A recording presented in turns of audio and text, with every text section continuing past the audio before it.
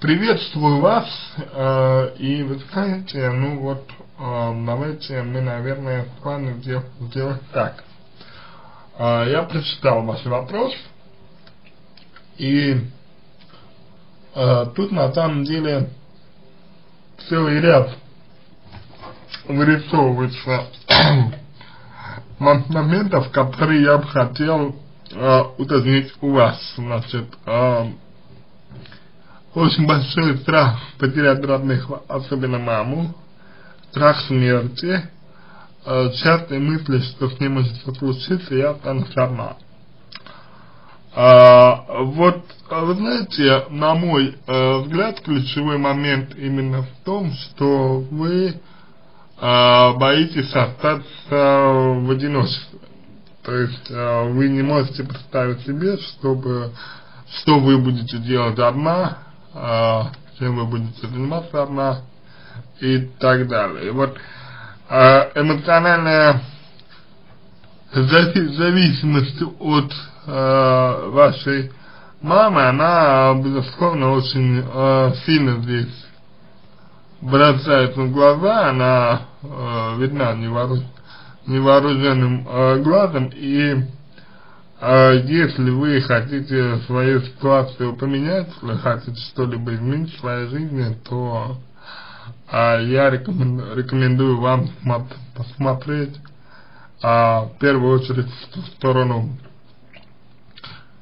именно того, Э, чтобы сепарироваться от мамы, отделяться от нее и жить самостоятельно, учиться жить самостоятельно. Что же касается страха смерти, страха смерти, то за ним э, может быть много всего, это как и навязчивые мысли, это и э, значит, это и э, страх неопределенности и, соответственно, нужно, нужно будет э, тогда вот э, этот страх, не, этот страх неопределенности прорабатывать с вами. А, вот, и это может быть эм, тревожность из, из-за подспудного нежелания корректировать свое поведение в результате а, меняющихся обстоятельств и так далее. Вот. А, примечательно, что вы очень много описываете про своего кота. А, вот. И эм, очень прямо много вы описываете. Э, вот. И это на самом деле полагаю, что закрепило вашу травму, но э, не является ее причиной. Значит, э, что, я могу, что я хочу сказать? А, как отгонять от себя эти мысли? Как жить без постоянного страха вероятных? А, ну, вот, то, что вы можете сделать уже сейчас, это э, рационализировать свой страх. Заниматься рационали, рационализацией. То есть, э, что это значит? Что значит рационализировать свой страх? это означает, что вы как бы э, задаете себе э, постоянно вопрос о том, э, вот случилось ли, случилось ли реально что-то плохое с вашими родителями, с вашей мамой. Э, вы же понимаете, что вы боитесь того, что может произойти. А вы же понимаете, что вы боитесь того, что произойти может, но еще не произошло.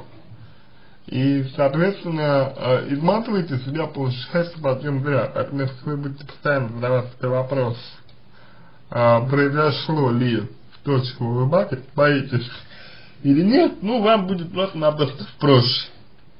Далее. Страх смерти.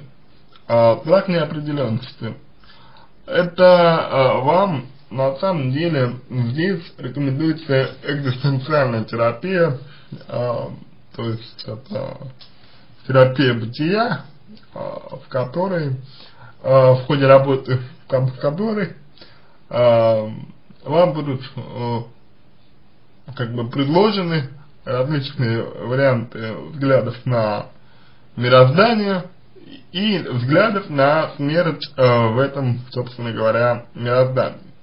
И в результате этого ваше, ваше представление о смерти будет меняться, кроме того, что люди боятся не, сам, не самой смерти, э, э, а того, что вместе с ней идет, того, как она социально окрашена э, в человеческом сознании, что смерть это всегда что-то ужасное, смерть это всегда что-то негативное, вот, но э, на самом деле это совсем другое, человек не может познаться такое смерть и боится он не смерти, а того, что непосредственно с ней связано. Если говорить о том, а, что вы боитесь потерять твою маму, то это связано еще раз с тем, что вы понимаете, что без мамы жить не сможете. И, соответственно, страх, беспомощность, страх неопределенности, он вами, вами движет здесь, в этом направлении, и дабы от него избавиться, вам необходимо э, уже сейчас становиться более самостоятельным, учиться э, совершать выбор и э, как-то быть ответственной, отделяться от мамы и вообще, э, может быть, даже уже начинать жить самостоятельно. А жить личной, личной жизнью, э, заводить свои собственные виды деятельности, увлечения, вот, работать над личностными границами э, и, собственно, над личным пространством э, и над защитой этого личного пространства. Э, помещать себя целенаправленно в ситуации выбора, личностного выбора, когда вам нужно будет э, совершать этот выбор и тем самым оформлять себя как личность, личность вот, и тем самым э, влиять на свою собственную реальность. Это так, такой вот процесс. Значит, да, далее, я бы вам рекомендовал бы обратиться к врачу, психиатру, для того, чтобы он а, проверил вас на предмет психических заболеваний, потому что, на мой взгляд, описываете вы некоторые возможные симптомы, и, может быть, вам требуется психотерапевтическое и психиатрическое вмешательство.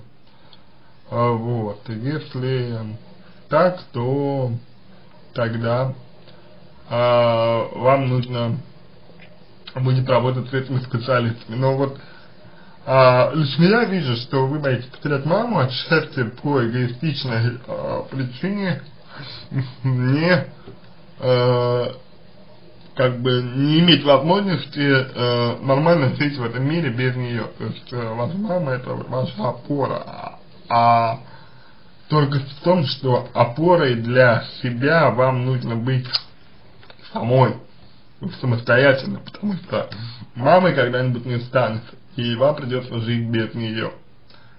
И, соответственно, эту мысль лучше принять как можно быстрее, а, как можно быстрее, и э, не э, думать о смерти мамы, а лучше просто-напросто жить м, как можно более самостоятельной жизнью. То есть, по сути дела, брать ответственность именно за себя и свои поступки. Вот страх перед ответственностью, э, ваше, может быть, неумение нести ее за свою жизнь является здесь ключевым моментом. И, возможно, это является то, от чего э, происходит и от чего являются производными все остальные ваши виды страха. Вот. С этим нужно разбираться подробнее, задавать вам какие-то вопросы, э, смотреть, что для вас ценно, уже тогда выбирать э, методы работы именно с вами, потому что может быть здесь и комплексы какие-то, может быть и здесь неуверенность в себе э, и так далее. Со всеми этими вещами нужно разбираться. На этом все. Надеюсь, что помог вам. Если какие-то вопросы остались, пишите в личку. Помогу. Если вам понравился мой ответ, буду благодарен, если сделаете его лучшим. Э, желаю вам всего самого доброго и удачи.